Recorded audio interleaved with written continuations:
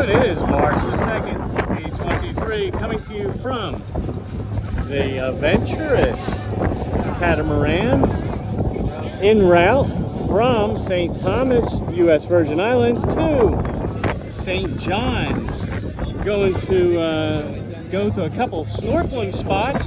One is over a shipwreck, about 60 feet of water, and the other one is off of Honeymoon Beach, which they say is the most beautiful beach in the Caribbean, but I've been to a lot of beaches in the Caribbean and uh, they all say they're beautiful. So anyhow, uh, this is on a, a two snorkel island catamaran cruise on uh, the Princess, uh, Enchanted Princess. It's about $109 or $90 if you are elite status. And it's basically about a four and a half hour tour. It's uh, one hour to get to St. John's and an hour to get back.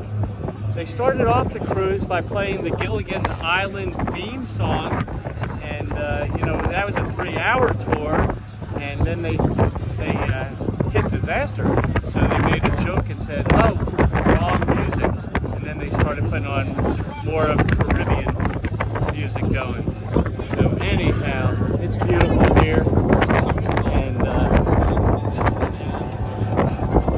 lots of little uh, nice houses up on the mountains of the hillside. And uh, I believe that we just passed St. Croix. Well, when I say passed, it was 45 miles away in uh, that direction right there. but this is St. John's, which uh, there's a giant boat right there anchored out at. And uh, so just lots of little islands. So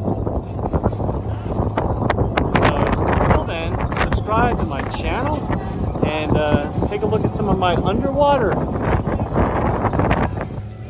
fish that I'm going to be uh, filming. So until then, subscribe to my channel